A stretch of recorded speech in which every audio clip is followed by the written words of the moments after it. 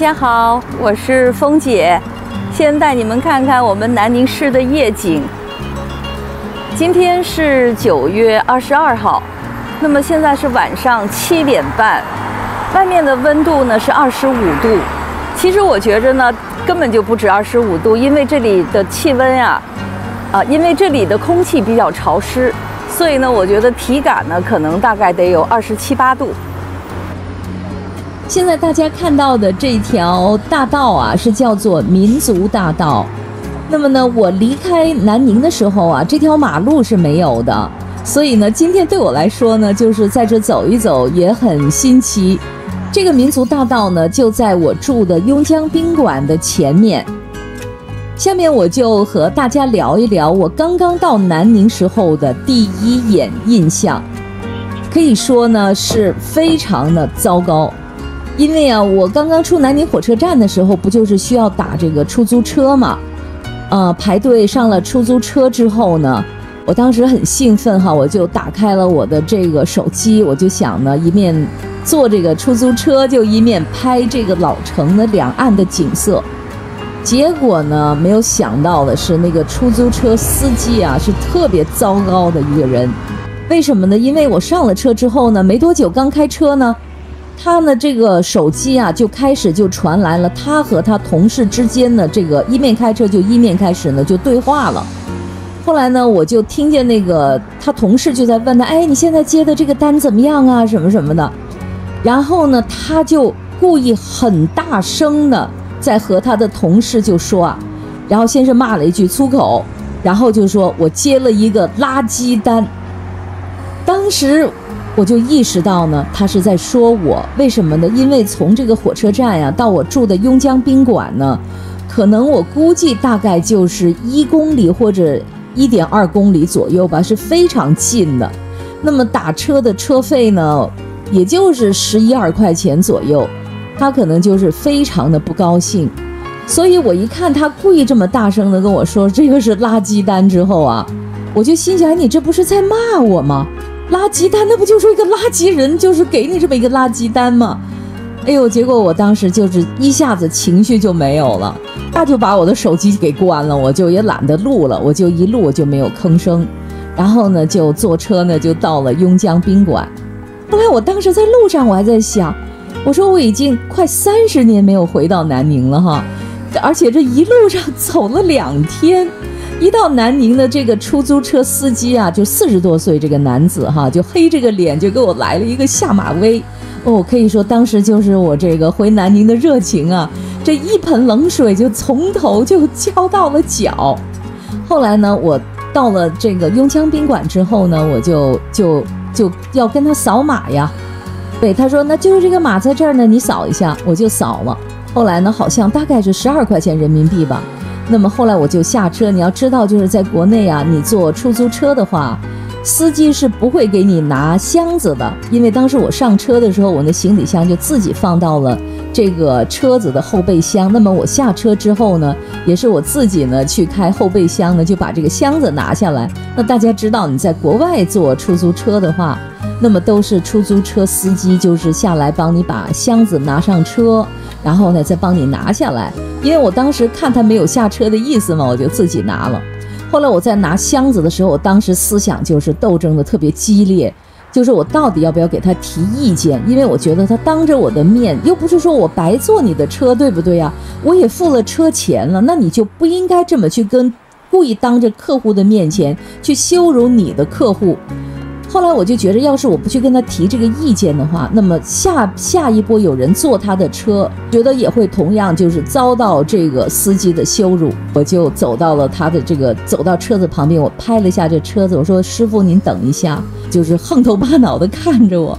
后来我说：“谢谢你，就是把我送到这个邕江宾馆。”我说：“我知道这个车程就比较短，我说挺对不起你的。”啊，我说：“但是有一句话我想跟您说。”我说刚才就当然我是非常和颜悦色、非常礼貌的跟他说哈，我说你刚才对我说说这个是一个垃圾单，我觉得你这么说呢，就是让我听了非常的不舒服。结果你们知道他跟我说什么呢？他我不跟你说，然后呢蹭一下就把车就开走了。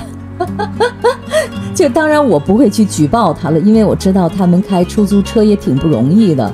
首先呢，就是他要排队呀，就是等到那个火车站，然后呢，没想到他上车呢，就是拉到这么一个客人坐，就是坐的行程还这么短，所以他就是一肚子的火。但是我觉得你要骂我可以，你可以在心里头骂我，对不对啊？但是你不应该当着我的面去骂我，而且我能判断出来这个司机不是南宁本地人。因为啊，他后来在跟他们打电话的时候，后来他就换了一个方言来说。那么后来我到酒店休息了一个多钟头之后呢，我要打车了，要出门了呀。因为我当时回国以前呢，就在网上不就买了很多的东西嘛。那么我就要去我亲戚家呢，就去取我买的这些东西。那么我一出来之后呢，我当然要打车了。然后我那个酒店门口就有出租车，上了这个出租车之后呢，就开了一会儿之后呢，我就开始啊，就和这个年轻的师傅就聊天。那么我一听呢，就能听出他是南宁本地人。后来我就觉得这个师傅就是挺和善的。然后呢，我就把我在这个火车站遇到第一个出租车司机的那个这个这个情况，我就跟他说了。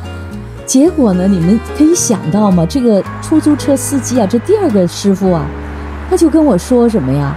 他说：“哎呀，真是很抱歉，挺对不起的。就是说，我的同行会给你这个几十年没回来的一个人哈，这么不好的印象。”他说：“我也替我的同行呢，就是说一声对不起。”他说。因为就是我们这个出租车司机在外面跑也很辛苦，你也知道南宁特别热，所以说他这样说是肯定不对的。我也请你呢，他肯定不是在骂你本人，不会说你是个垃圾人，给了他一个垃圾单，他肯定不是指你的，只是说他心里头有火，所以你也不要太计较。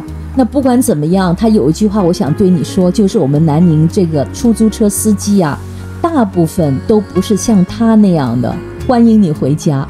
所以当时我听了，哎呀，就是挺感动的吧。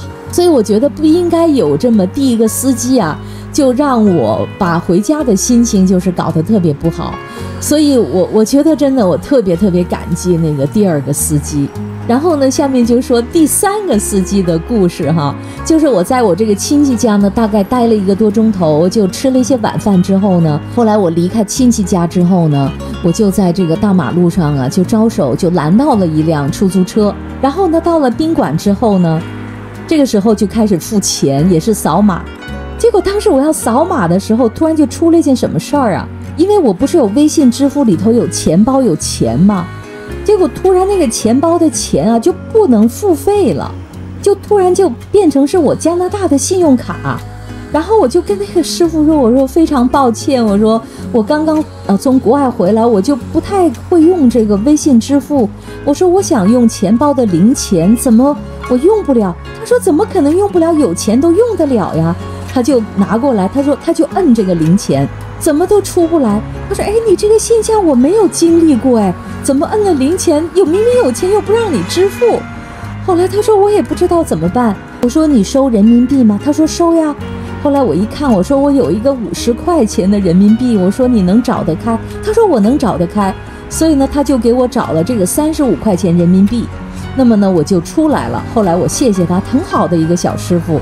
后来我就就就拿了三十五块人民币。后来我就下车，然后就回酒店了。然后呢，回到酒店之后没多久啊，我觉得可能是我这一路上太累了，就脑子就糊涂了。因为他我给了他三十五块钱现金之后，那也没有发票，什么都没有，对吧？那师傅就走了呀。走了之后，回到酒店之后，然后那个手机啊，莫名其妙的就跳出来了，说：“哎。”你用不用这个？呃，用你的信用卡付费啊？结果我当时就糊涂到什么地步呢？我就糊涂到觉得好像我就没给他付钱。后来我说那就支付吧，就从我的信用卡就支付了。结果从信用卡支付了之后才想起来，我给他付钱了，要不是给他付了十五块钱现金吗。后来我就在想，为什么我那个微信钱包不能支付呢？后来我就想起来了，我们这个外国人绑定的这个信用卡，我们是跟他们不一样的，就是我们是有限制的，每天只能用五千块。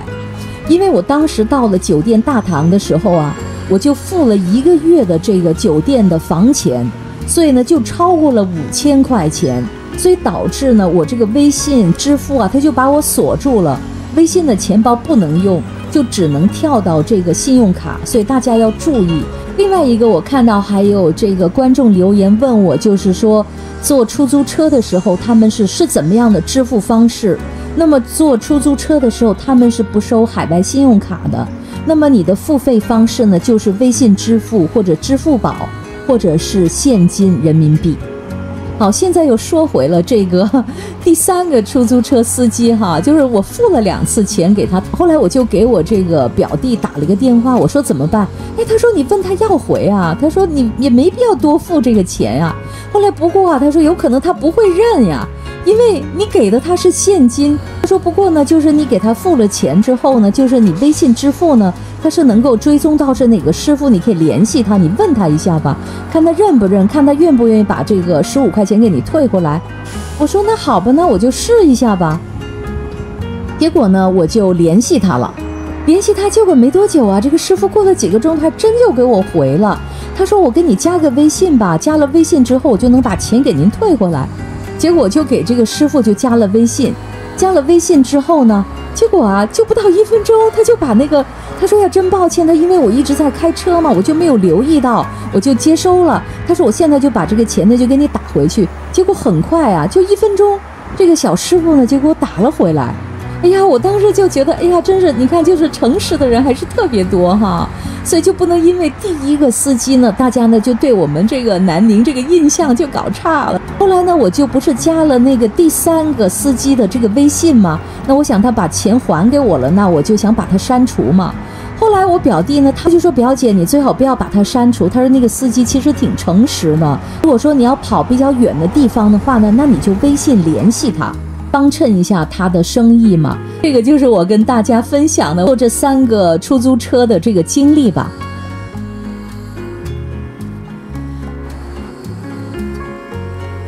闻着家乡的晚风，迎面扑来的是一股说不清的熟悉的味道。原来我一直都没有走远。